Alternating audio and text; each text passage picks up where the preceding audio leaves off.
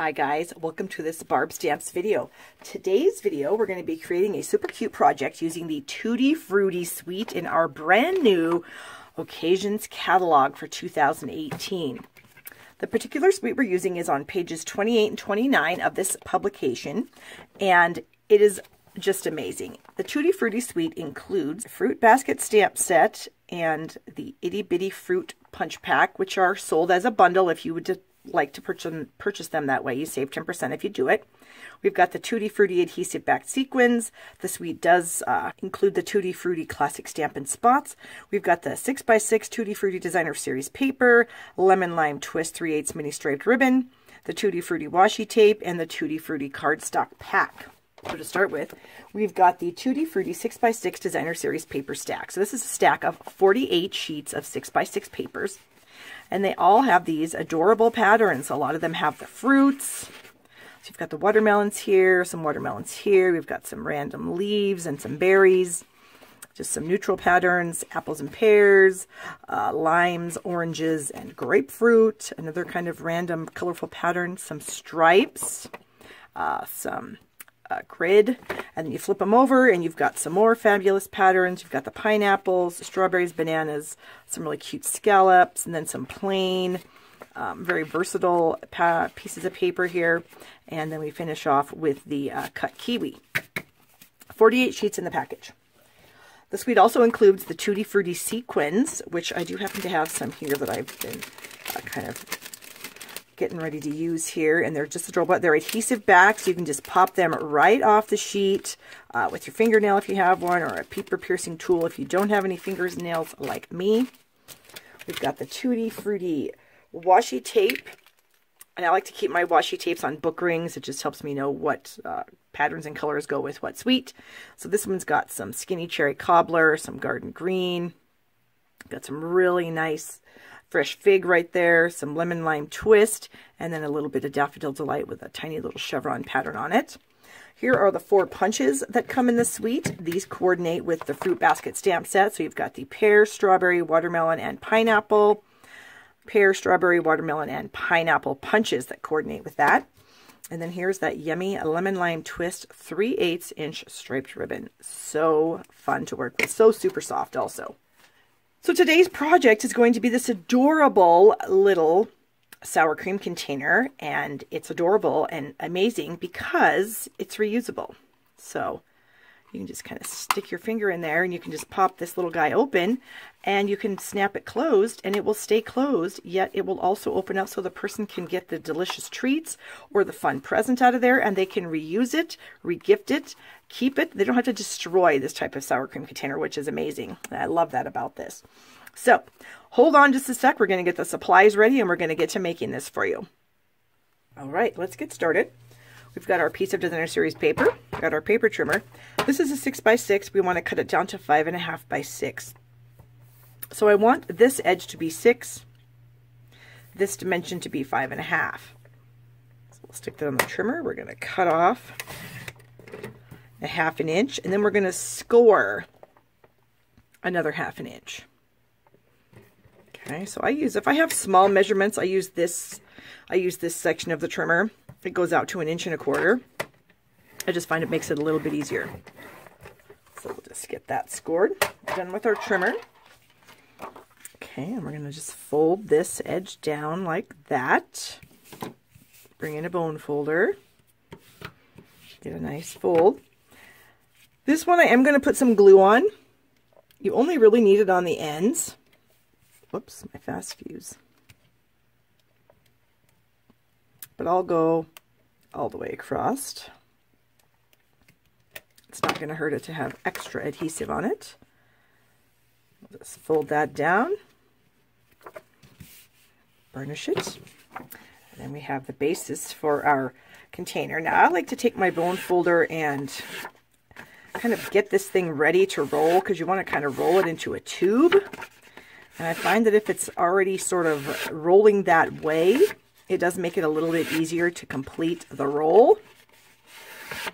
So I do like to kind of curl it with my bone folder in make it like a piece of uh, curling ribbon. So we're going to add some adhesive on one of these edges. We're going to fold this over. And then we're going to stick that together. We're also going to have adhesive right here. I'm going to go ahead and do with my fast fuse.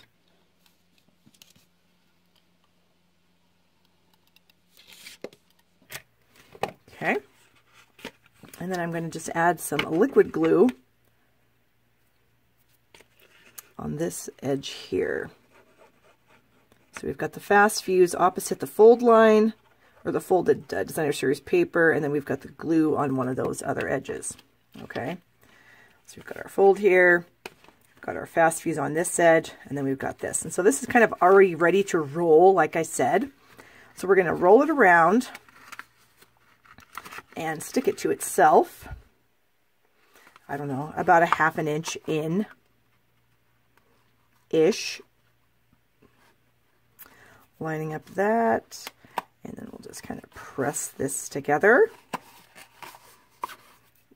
Give that glue a chance to glue itself. Now to do our folding, we are going to have this seam be on one of the edges. Okay, so you want to fold it like that. And you can use a bone folder if you want. Crisp fold there. And here. Okay. And then we're going to hold it like this. And then we're going to fold this side opposite. Okay, so just kind of press it together gently, getting those ends to line up. And just press that into the fast fuse. Again, you can use your bone folder to get that nice crisp fold there. And then that is the main container. And then it will kind of snap closed. And then it will kind of snap open and you can fill it with some treats of your choice. You could put some candies in there. You could probably wrap up some jewelry in a piece of tissue paper. Um, cash, of course, will fit in here really nicely. Um, a little thank you note would work. Uh, just a little something to give someone to tell them that you appreciate them.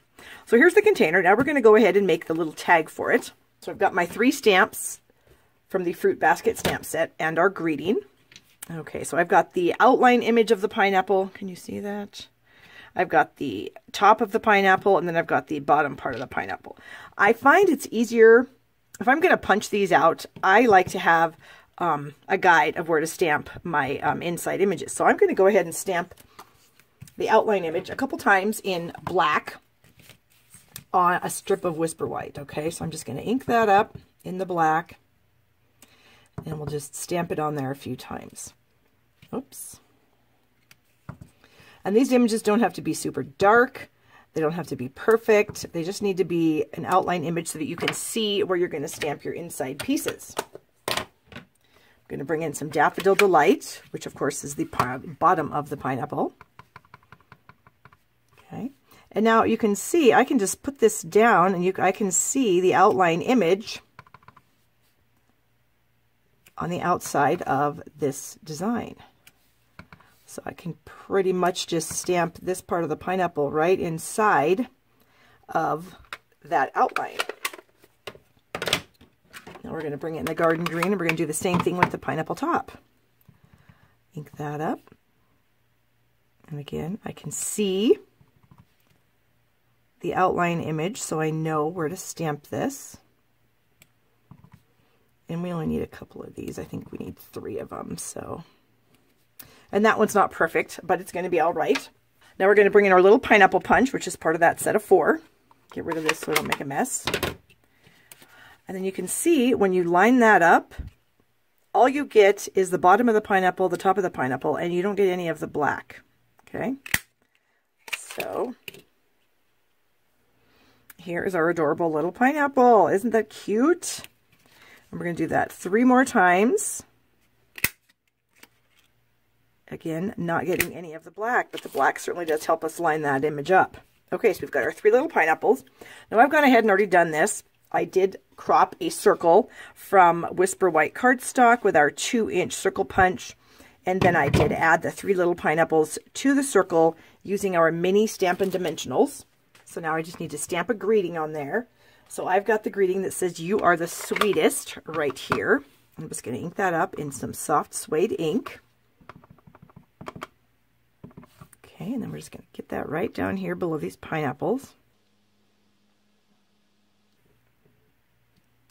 Like so. And I've got this tiny little heart image that I'm going to stamp right below that in some lemon lime twist. I had to find my lemon lime twist pad here.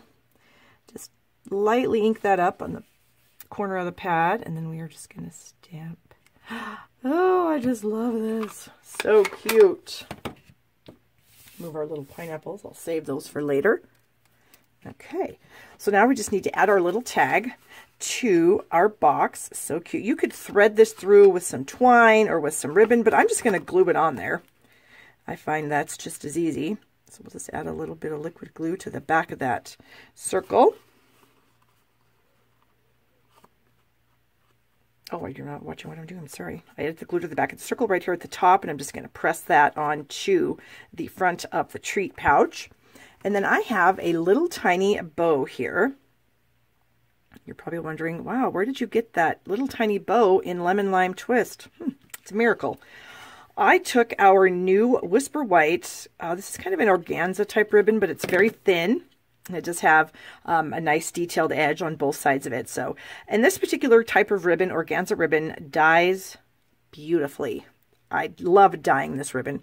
So all I did was add a few drops of water to a little container, a few drops of ink, put the ribbon in, hang it up to dry, and tie it in a bow. So it's a very easy process. It's a little time consuming only because you have to wait for the ribbon to dry before you can use it. So what I do is if I know I'm going to be using um, a lot of that color. So I may just take a really super long chunk of this and just dye it all up and then it'll be ready to go whenever I want to use it.